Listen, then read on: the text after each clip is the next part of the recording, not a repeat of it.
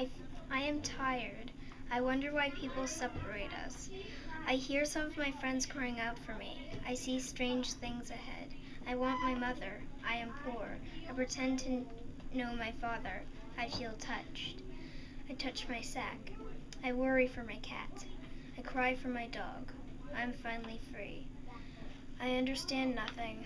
I say it is okay. I dream of a dream world.